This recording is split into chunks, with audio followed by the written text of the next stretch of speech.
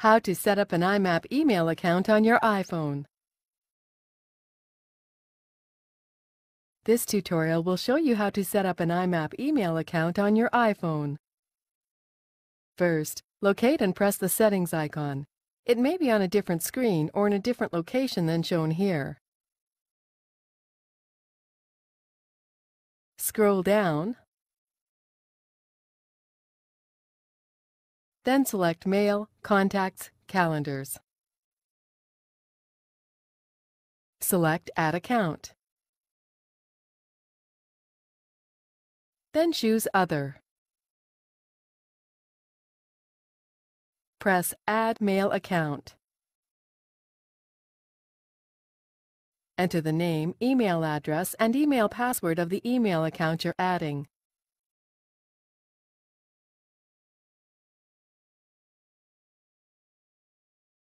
A description will automatically appear, but you can change it if you like. When finished, press Next. In this tutorial, we are creating an IMAP account. Therefore, ensure the IMAP option is selected here. Next, you have to enter your incoming mail server settings. Press here. Then enter the host name, username, and password for the incoming mail server.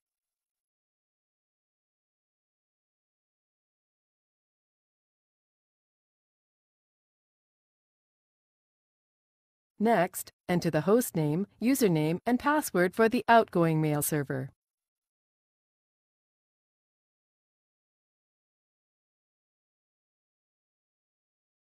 When finished, press Next. Then press Save. Success! The IMAP email account has been set up on the iPhone, and you can see it here, listed under Accounts. Let's return to the home screen by pressing the Home button on the iPhone. To check your email, press the Mail icon here. Note, the icon may be in a different location on your iPhone.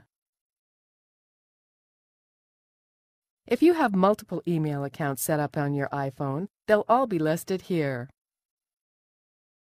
Select the email account we just set up, and any emails in your inbox will be displayed here.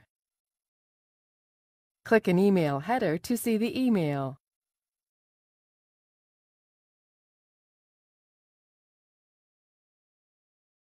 That's it. You now know how to set up an IMAP email account on your iPhone.